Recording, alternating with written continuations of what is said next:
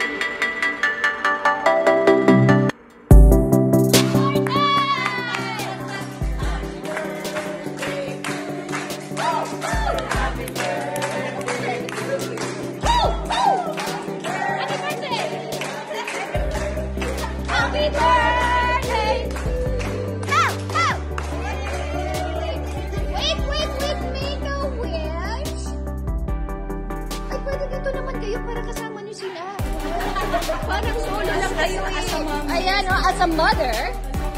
Happy birthday, make a wish!